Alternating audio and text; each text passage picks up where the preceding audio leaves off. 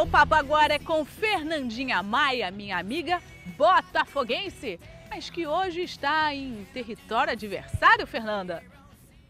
É, Mônica, eu estou aqui na Gávea, na sede do Flamengo, para mostrar para vocês a nova camisa do Flamengo. Olha que linda. Eu vou conversar com o Cris da Adidas. Cris, é verdade que tem uma grande novidade? Oi, tudo bem? É verdade, sim. Essa camisa a gente buscou resgatar as origens do clube.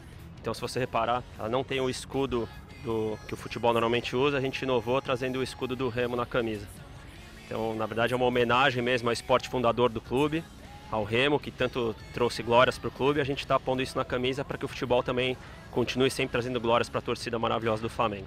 Muito obrigada, Cris. Obrigada mesmo, tá? E olha, essa camisa linda aqui, você quer que essa camisa seja sua. Então, segunda-feira agora, uma hora da tarde, liga no SBT, SBT Esporte Rio, uma hora da tarde. Quem sabe ela pode ser sua através do Twitter, ela pode ser sua. E no basquete, hoje, na verdade daqui a pouco, 10h45, o Flamengo enfrenta o Franca na final da NBB. É o Flamengo que é pentacampeão na competição, será que vai levantar mais um caneco? E voltando para o futebol, hoje, domingão, domingo é dia de futebol, é claro. O Botafogo vai até o Serra Dourada enfrentar o Goiás e o Vascão recebe o Havaí em casa, em São Januário.